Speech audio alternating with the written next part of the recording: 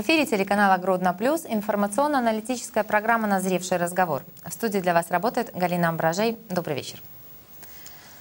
Всем нам в жизни приходится решать проблемы, преодолевать препятствия, задавать вопросы или искать на них ответы, что в свою очередь не всегда заканчивается успехом.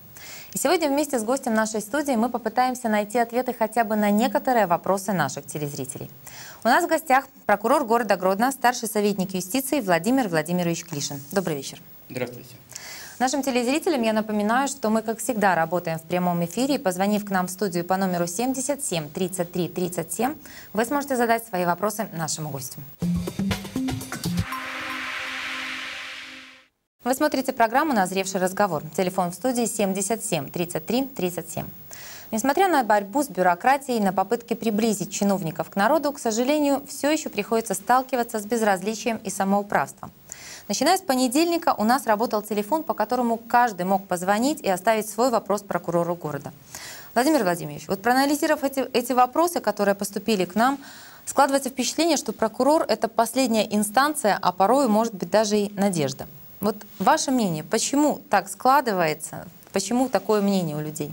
А, я хочу начать э, с чего. Сегодня наш ветеран органов прокуратуры — придя к нам на торжественное собрание в областную прокуратуру, сказала, иду, говорит, я по городу, да, чувствую, что у меня на душе праздник. И по лицам людей вижу, что они, многие из них не знают, что есть такой праздник, День прокуратуры. Но когда приходит беда, когда им сложно, когда им тяжело, они все знают, что надо идти к прокурору.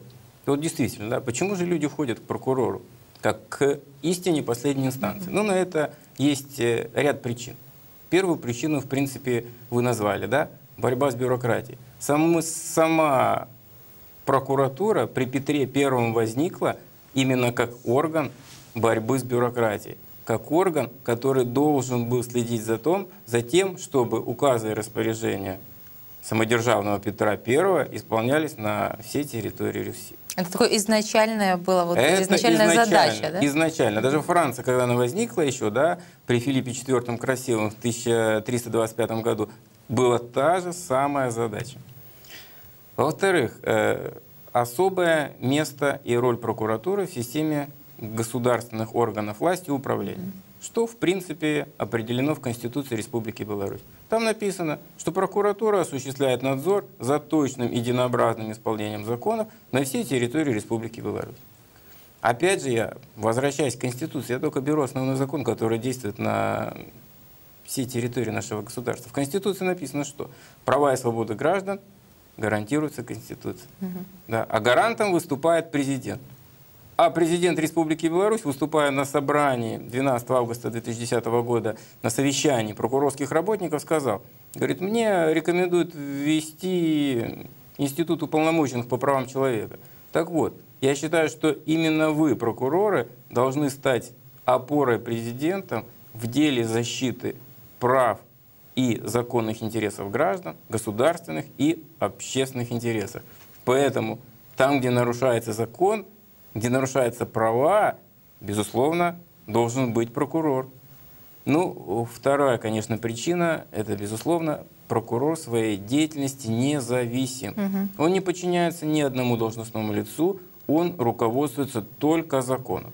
Вмешательство в деятельности прокурора, какое-то давление на него запрещено законом. И более того, в определенных случаях может повлечь э, уголовную ответственность. Ну и еще одну причину я назвал. Законодательство, Конституция, закон о прокуратуре предоставляет прокурорам довольно большой объем полномочий, которых достаточно да, остановить и взорвавшегося чиновника, и распоясавшегося гражданина. Для прокурора нет таких людей, для которых закон не писан. Но вместе с этими полномочиями, я так понимаю, что у вас и большое большая ответственность, которая ложится на ваши плечи, потому что на сегодняшний момент прокурор это, ну, действительно, последняя инстанция и надежда. Но вот э, хочу, прежде чем начнем, э, перейдем к вопросам, которые поступили к нам от телезрителей, скажу, что кроме вопросов, были также еще и поздравления, потому что сегодня именно отмечается День работников прокуратуры. Поэтому от всех телезрителей, от всей нашей творческой группы, от всей э, компании «Гродно Плюс» я вас поздравляю с вашим профессиональным праздником, ну и желаю действительно вам успехов и чтобы, наверное, э, прокурор был не надеждой последней, а последней инстанцией, которая выносит окончательный бесповоротный вердикт. Спасибо. И этим, вы вот этими словами, да, вы все-таки как-то, я считаю, вселили положительные эмоции в наши ветераны. Потому что те, кто смотрит, уже знают, что сегодня профессиональный да. праздник, сегодня ваш День работников праздник. прокуратуры. Владимир Владимирович, ну скажите, вот с какими все-таки вопросами чаще всего обращаются к прокурору? Что волнует на сегодняшний момент жителей нашего города? Ну, э, наверное, если бы люди обращались с однотипными вопросами, то мы бы не были прокуратурой. Вопросы, которые поступают в органы прокуратуры, разные. разные. Ну, давайте мы возьмем статистические цифры. Примерно за год в прокуратуру города Гродно поступает до 800 обращений. То есть это и обращения граждан, и обращения юридических лиц. Mm -hmm. Тематика вопросов, безусловно, разная. Жалуются люди, не согласные с процессуальными решениями, принятыми органами внутренних дел, следователями Следственного комитета. Жалуются люди, которые не согласны с привлечением их к административной ответственности. Либо, наоборот, считают, что виновное лицо необоснованно к такой ответственности не привлекли. Жалуются люди, которые пострадали от нарушения их трудовых прав. Часто, э, ну, бывает, когда к нам обращаются люди в связи с невыплатой детских пособий. Да, то есть э, особенно этим грешат частные структуры. Угу. В этих случаях мы реагируем оперативно и жестко. За текущий год мы привлекли за такие нарушения закона к административной ответственности 12 должностных лиц. Поэтому тематика вопросов Обширная, разнообразная. Разная. Есть, конечно, такой момент, что согласно закону о прокуратуре мы рассматриваем только те же обращения граждан, которые не подведомственны другим органам, для которых не предусмотрен судебный порядок разрешения спора, для которых не предусмотрен э, порядок разрешения в соответствии с уголовно-процессуальным, административно-процессуальным, гражданско-процессуальным кодексом. Такие обращения, как правило, мы направляем по подследственности, по, по подведомственности в соответствии с действующим законодательством. Угу. Есть обращения, которые, скажем, связаны с нарушением прав несовершеннолетних. Коллективное обращение. Обращение от граждан, которые не могут самостоятельно защитить свои права в силу различных причин. Мы такие обращения берем на контроль, выходим потом в те организации и органы, которые занимались их рассмотрением, смотрим, то есть следим за, за тем, чтобы это решение в полной мере соответствовала нормам закона. Ну, давайте тогда уже начнем, перейдем к вопросам, которые поступили к нам от телезрителей. Марина из Гродно. Я разведена с мужем, но мы живем в одном доме, который вместе строили. Уже после развода у мужа возникли долговые обязательства. Когда я была на работе, судебные исполнители описали имущество в доме. Правомерно ли это и должна ли я расплачиваться по долгам бывшего мужа? Э, ну, если мы посмотрим законодательство, то согласно статье 23 Кодекса о браке и семье, все имущество, которое нажито супругами во время брака, является их общей совместной собственностью. Неважно, если один, например, может быть, работал, а второй в это время смотрел за детьми и вел домашнее хозяйство. Это общая совместная собственность. Да, при заключении брака имущественные моменты могут быть оговорены брачным договором. Если они оговорены, да, то за каждым ну, в этом семьи, случае проще, скажем, понятно. если оговорено. Если, да. если, же, нет. если же такого брачного договора не было, все имущество является совместно нажитым. Здесь и смысл обращения непонятно, в связи с чем стал вопрос. Да? Возможно, данное имущество описали в связи с совершением, ну, скажем, там, э, либо гражданского правонарушения, которое повлекло долговые обязательства, угу. либо уголовного преступления, которое тоже повлекло за собой конфискацию имущества. По, по этой причине человек, если считает, что вместе с имуществом его мужа, бывшего, было описано и ее имущество, угу. она вправе обратиться в суд с заявлением об исключении имущества из описи арестованного имущества. В этом случае, безусловно, она должна предоставлять какие-то подтверждающие документы, того, что да, это ее что имущество. это именно ее имущество, что было куплено ей вне брака, приобретено угу. вне брака, что на это были потрачены денежные средства ее личные, да, вне брака опять же. Поэтому... Ну, вот в таком случае, к примеру, какие могут быть документы, я не знаю, свидетели, которые могут сказать о том, что да, мы покупали, к примеру, вот этот, не знаю, диван э, это за могут деньги быть, мамы. Это могут быть и документы. Угу Это могут быть и свидетельские показания, да, это могут быть, безусловно, какие-то документальные подтверждения, что человек имел денежные средства и мог в состоянии купить то или иное имущество. Извините, когда на кону иногда стоит квартира, и возникает мама лица и говорит, я купила эту квартиру, а мы анализируем сведения о ее пенсии и понимаем, что она не могла угу. чисто исходя из своих материальных возможностей приобрести не то что квартиру, но и 5 квадратных метров в этой квартире, то, безусловно, это оценивается судом. Хорошо. Тогда следующий вопрос. Моя дочь Елена одна воспитывает троих детей. Ее муж находится в розыске и никаких алиментов на детей не выплачивает. Каким образом можно взыскать алименты, куда обратиться за помощью? Ну, изначально либо в, в приказном порядке, да, либо в порядке искового производства, если человека, место человека неизвестно, она должна взыскать элементы на содержание детей. Да. Это первый момент. Если, ну, я так понял из, из сути вопроса, скорее всего, такое решение суда уже есть. Ну, Другое видимо. дело, что угу. алименты не взыскиваются, не начисляются. Поэтому ей нужно, второй шаг, конечно, обратиться в отдел принудительного исполнения судебных решений по территориальности Ленинского и Октябрьского района. Не стыдиться прийти на прием к начальнице, начальнику этого отдела и объяснить ситуацию, чтобы она посмотрела, работает ли исполнитель по его отысканию, потому что бывает, человек не скрывается, живет там э, в соседнем городе, да. Это второй путь. Второй момент. Ну и третье, если он уже вообще злостный неплательщик, да, э, нужно обращаться в органы внутренних дел для возбуждения в отношении него уголовного дела по статье 174. Нужно три месяца, если человек в течение не года не три, нет, не платит алименты, угу.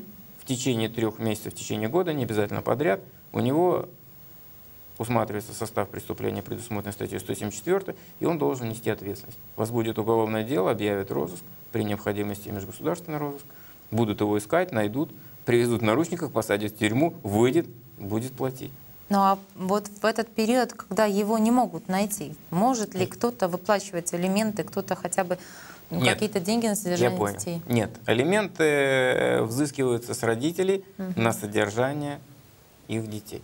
То есть нет да, одного из потому, родителей, нет алиментов. Да, нет алиментов. То есть задолженность на него начисляется, начисляется пеня определенного рода, да, за несвоевременную выплату этих элементов, и она в дальнейшем должна погашаться. Это долг на нем висит. Ну, к сожалению, есть такие граждане, да, которые, ну, Вот насколько так, часто вам приходится сталкиваться вот с такими ситуациями, которые касаются денег и детей? Э, часто, часто, да.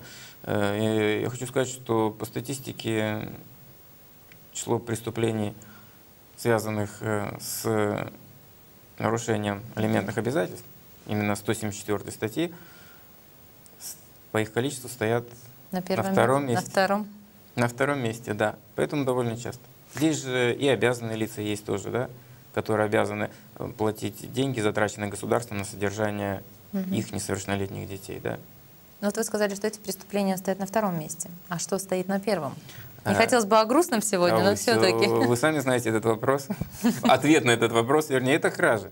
Банальные кражи, да. 30% э, от всего количества зарегистрированных преступлений – это кражи. А есть еще такая градация, как по линии уголовного розыска, там 63% составляет кражи. Да, ну вот для примера, сколько у нас? 1149 преступлений, за 5 месяцев зарегистрировано 305 краж. 350 кражи. Люди оставляют мобильные телефоны, барсетки, планшеты, обеспечивают, не, за, не закрывают, скажем, доступ э, в автомобили, где также оставляют на, на, на ночевку. Сами домой идут ночевать, угу. а там оставляют на ценные ночевку. вещи, которые ц, будут ночевать вещи. уже у кого-то другого. Велосипеды. Да, вот в последнее время, кстати, же, было, по-моему, очень много дел по поводу и сейчас очень велосипедов. Много. Угу. И сейчас очень много велосипедов идет, и органы внутренних дел говорят, пришло лето, начинаем искать велосипеды. Угу. Да, действительно, это бич. Ну, всегда такое Видите, с одной было. стороны, получается, что у нас, в принципе, такая образовалась неплохая, хорошая даже, можно сказать, мода на здоровый образ жизни, да, это велосипеды, это ролики, люди как-то начинают заниматься собой и спортом, а с другой стороны, вот увеличилось количество велосипедов, которые, к сожалению, находят других хозяев. Ну, это, это не то, что мода к этому так привела, да, просто э, материальное состояние людей подросло. Э, появляются такие вещи, предметы, да, которые рассматриваются как повседневные. Uh-huh. Вот мобильный телефон повседневный, а почему я его не могу там э, оставить на прилавке в магазине, да? Это ж мой телефон, но потом же они обращаются в органы внутренних дел. Найдите Почему я, телефон, телефон. почему я телефон не могу оставить э, в подъезде, да? хотя дверь не имеет э, центрального замка, например? Есть же органы внутренних дел, они же найдут. Потому что людям иногда нужно самим подумать об обеспечении сохранности своего имущества. Это же их имущество, их деньги, конце концов. На этой ноте мы прервемся буквально ненадолго. Реклама на нашем канале, не переключайтесь. Мы продолжаем программу «Назревший разговор». Напомню, что в гостях у нас прокурор города Гродно, старший советник юстиции Владимир Владимирович Клишин. Мы работаем в прямом эфире. Телефон в нашей студии 77 33 37. Звоните, задавайте свои вопросы нашему гостю. Владимир Владимирович, вот мы уже э, с вами оговорили как бы ряд основных, наверное, моментов, вопросов, но есть еще вопрос от наших телезрителей. Вот к нам позвонила Елена, спрашивает, мужу не выплачивают зарплату, куда нам лучше обратиться? Ну, здесь, безусловно, есть ряд моментов. Первый момент, на основании каких отношений он работает в организации. Мгм. Это может быть Ну да, либо трудовое соглашение, предусмотренное трудовым кодексом. Это одно. Второе, это может быть, э, скажем, коммерческая структура, где он выполняет работы по договору подряда. Это совсем другое. Если мы берем первый вариант, да, первый вариант, человек работает по трудовому соглашению, то согласно действующего трудового кодекса, в случае невыплаты своевременной заработной платы, он может обратиться в суд о взыскании данных денежных средств плюс за каждый день просрочки он вправе потребовать да, соразмерную выплату, исходя из расчета среднего заработка. Это первый путь. Трудовой кодекс освобождает граждан от э, уплаты госпошлины за подачу заявления. Если это государственная структура, государственная структура, я предлагаю им обратиться к нам, в органы прокуратуры. И на следующий день им будет выплачена зарплата. Я это гарантирую. Ну что ж, Елена, я думаю, услышала Да. вас. Если по договору подряда, нужно тоже обращаться в суд. В суд, к сожалению. Видите, мы опять переходим к тому, что все-таки прокурор – последняя инстанция, которая однозначно решает многие вопросы. В прошлом году вот был у нас отмечен значительный рост количества преступлений, связанных с незаконным оборотом наркотиков. Как складывается ситуация вот в городе нашем в этом уже году, в 2015? Ну, э, проблема распространения наркотиков, проблема употребления психоактивных веществ, действительно, она стала актуальной для Республики Беларусь, впрочем, как и для всех остальных стран и бывшего Советского Союза, и западноевропейских стран. Угроза, связанная с распространением наркотической заразы, выдвигается на лидирующей позиции. То есть как угроза безопасности рассматривается как одна из таких существенных. В Республике Беларусь приняты определенные меры и законодательного характера, которые, безусловно, позволяют контролировать ситуацию в этой сфере. Да, прошлый год у нас связан с ростом числа зарегистрированных преступлений в сфере наркобизнеса. Есть. Почти в два с половиной раза по Мгм. городу Гродно, да. В том числе со сбытом почти в три раза. да. А, Обнаружилась такая тенденция нехорошая, что эти употребление психоактивных э, веществ в основном э, стало прерогатива молодых. Молодежи, да. молодых. Плюс, конечно, несовершеннолетние. Да? Если раньше за год, например, э, с несовершеннолетними таких преступлений не совершалось, в прошлом году, смотрите, из 113 было совершено 46. Несовершеннолетние. Да, проблема есть. Но я хочу сказать, что государство проводит целенаправленную политику по борьбе с наркоманией. Еще в 14 января 2014 года был принят Мгм. декрет, который регулировал, декрет номер один о регулировании оборота семян мака. 28 декабря 2014 года президентом был подписан декрет номер 6 о неотложных мерах да, в, сфере распространения наркотиков. И в феврале и в январе в Уголовный кодекс, в Административный кодекс были внесены соответствующие изменения. То есть что же кардинально произошло? Во-первых, была введена административная ответственность за употребление нахождение граждан в общественных местах в состоянии вызванном потреблением наркотиков и психотропных веществ. Была усилена уголовная ответственность. В частности, за распространение и хранение, приобретение с целью распространения э, особо опасных психотропных веществ и их аналогов э, в крупных размерах. Уголовная ответственность э, установлена от 8 до 15 лет лишения свободы. Была введена такая норма, которой раньше не было. То есть если сбытчик сбывает кому-то наркотик, и в результате его употребления покупатель погибает, то введена уголовная ответственность по части 5 статьи 328 от 12 э, до 25 лет лишения свободы. Но как вы считаете, вот эти принятые нововведения, принятые усиленные меры по борьбе с э, незаконным оборотом, с употреблением, с распространением наркотиков, они достаточно сильны? Вот у нас есть э, от телезрительницы Елены также был звонок, которая говорит, может стоит усилить ответственность за распространение наркотиков, особенно продажу спайсов. Ведь на наших глазах гибнет молодое ну, поколение. Я, по-моему, ответил, да? Ответственность усилена. Угу. Ответственность усилена. Более того, была пересмотрена судебная практика. Если раньше мы считали вот наркоман, который употребляет, скажем, вытяжку да, из головок мака, так называемый опийный наркоман, mm больной человек, его надо лечить. Да, поэтому как бы э, судебная практика шла, если он первый раз э, попался за это, да, ну, как правило, лишение свободы не давали. Uh В настоящее время судебная практика пересмотрена, и к таким лицам спрос с них ужесточен. Никаких ни отсрочек исполнения наказания, ни условного а, назначения наказаний. Как правило, это реальные наказания. В ряде случаев э, и лишение свободы. Но я хочу сказать, что на основании этих законодательных актов уже была разработана целая программа Совета министров комплексных мер по борьбе с наркотиками. И здесь же входят и другие организационные моменты мероприятий. И, конечно, они дали результат. Ну, смотрите, э, распространение шло посредством сети интернет, да, научились с этим бороться, научились. Э, деньги поступали на электронные кошельки. Декретом предусмотрено, электронный кошелек в банке должен быть идентифицирован на человека, да. Конечно, при распространении. Мы знаем человека, мы его идем, берем uh-huh. и спрашиваем, привлекаем к ответственности. Э, в прошлом году было три группы задержаны, которые занимались распространением спайцев.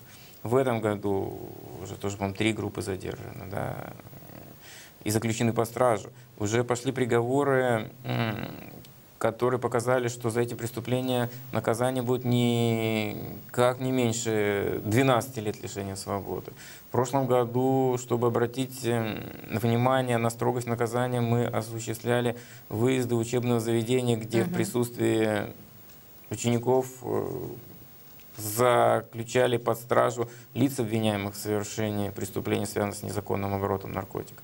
Безусловно, это дало свои результаты и дает. И есть цифры статистики То есть уже об этом говорят. к снижению да. количества По городу Гродно число преступлений, связанных с незаконным распространением наркотиков, снизилось. Да, со сбытом пока незначительно, где-то на 10 угу. преступлений. Но я думаю, что те... Ну, раз уже тенденция положительная наметилась, я думаю, она обязана просто продолжаться. Да, ну, беда-то в чем, что, во-первых, нельзя останавливаться. Угу. Нельзя э, почивать на лаврах, что вот мы достигли каких-то результатов, и дальше все пойдет. Нет, нельзя. Далее, во-вторых, мы должны четко себе обозначить проблему, что данное преступление носит латентный скрытый характер. То есть работа по выявлению этих преступлений должна быть построена на постоянной э, основе. Мы вернемся в студию программы «Назревший разговор» буквально через несколько минут, а сейчас реклама на нашем канале. Вы смотрите «Назревший разговор», и мы продолжаем беседу. Напомню, телефон в студии 77 33 37. Звоните, задавайте вопросы нашему гостю. Владимир Владимирович, к нам поступило еще огромное количество вопросов. Я даже сомневаюсь, что все мы сегодня успеем в эфире озвучить, но давайте начнем, наверное, Вот с этого Татьяна позвонила, в браке построила квартиру. Квадраты брала только на себя и детей. В случае развода может ли муж претендовать на квартиру? Может, сразу говорю. В браке совместно нажитое имущество. Прекрасно. Геннадий. Пристав, понятые, начальник ЖЭСа вскрыли квартиру по решению суда. Я в ней прописан, но не владелец. Законно ли решение суда? Ну, неотмененное в- решение суда является законом. Поэтому Ее здесь- нужно исполнять. Это акт применения закона, Ну, я тоже. подлежит обязательному исполнению. Я не думаю, что пристав, понятые, начальник ЖЭСа самовольно пришли и вскрыли квартиру, правда? На, на то наверняка были какие-то основания. Ну, у нас судебные исполнители, вообще-то они приставы. Человек так вольно трактует э, некоторые термины. Мгм. Кстати, по поводу приставов, может быть, попозже чуть поговорим. Позвонил к нам Дмитрий. Сам проживаю в Гродно. Получил квартиру 5 лет назад в кредит на 20 лет. В этом году умерли родители, в Слониме у них осталась собственности квартира. Подал документы на наследование. В случае развода, например, будет ли квартира в Слониме моя или она считается совместно нажитым имуществом? Недвижимые вещи, впрочем, как и движимые, полученные по наследству, в состав общего совместно нажитого имущества не входят. То есть в случае, к примеру, развода, получил- да, получил квартира на наследство, останется это его. его, да. Совместно нажитое нужно будет, чтобы они совместно наживали, кто-то работал, откладывал деньги, что-то приобретали. Вот что имеется совместно нажитое. Ирина Станиславовна к нам еще позвонила. Как можно к вам записаться на прием? Где и когда? Я многодетная мама, хочу с вами проконсультироваться по квартирному вопросу. Ну, лично я веду прием каждую среду с 9 до часу. Можно прийти без предварительной записи по адресу Дубко 7, и я вас приму. Если меня не будет по каким-то причинам, это может быть командировка, например, да, то мой заместитель по интересующему ее вопросу примет и даст профессиональную консультацию. Если она, как мать троих детей, да, ей сложно выбрать время, например, прийти в среду, то она может позвонить по телефону 43 26 18 и записаться, когда ко мне на прием, согласовав дату и время, и я ее приму и постараюсь ответить на все интересующие вопросы. Повторим еще раз номер телефона 43 26 18 Дубко 7. Но судя по вопросам, которые к нам поступают вот сейчас во время прямого эфира, большинство из них касается почему-то квартирных. Вот наболевший квартирный вопрос. Вот как вам кажется, какова основная причина? Почему людей волнует извечный квартирный вопрос? Ну, здесь как бы я рассматривал квартиру в этих вопросах не как э, жилое помещение, да, а как некое имущество. И людей это как раз-то очень волнует. Никто не хочет отдавать свое э, имущество, если оно нажито законным путем, конечно. Поэтому их озабоченность. Владимир Владимирович, сегодня ваш профессиональный праздник. Вот именно для вас прокурор – это работа или призвание? Ну, такой вопрос, конечно. Вот с одной стороны, это, конечно, работа, поскольку наш труд оплачивается из бюджета.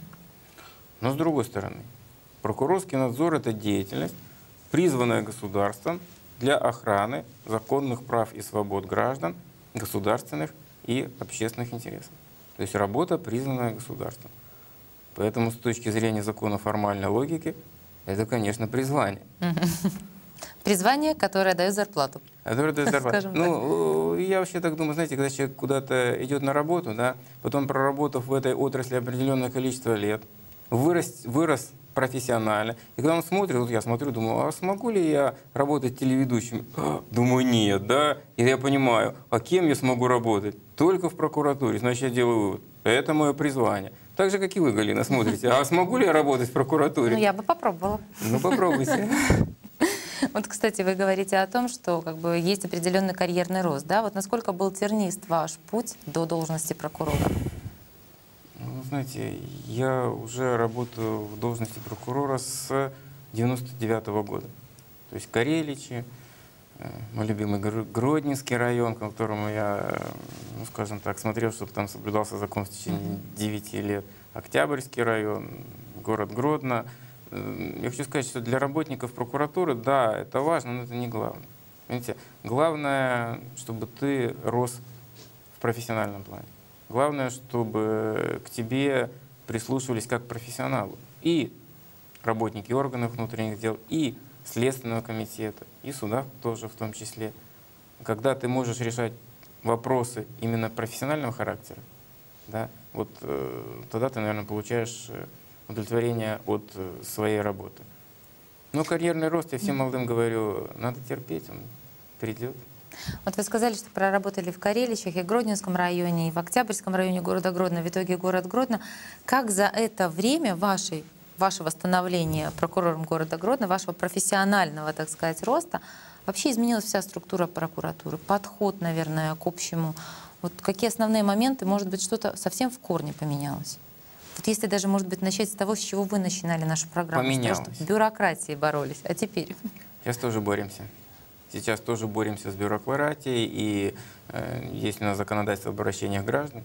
И в прошлом году мы привели к административной ответственности четыре должностных лица, потому что так вот э, вольно трактуют и относятся к насущим вопросам, которые выдвигают э, перед ними гр- граждане. И в этом году уже привлекли одного. Я думаю, в дальнейшем, если будут нарушения с их стороны, мы будем их привлекать. Что же изменилось? Изменилось, конечно, существенно. Если мы возьмем, ну, мы все знаем, что с образованием Следственного комитета произошло перераспределение уголовно-процессуальных функций.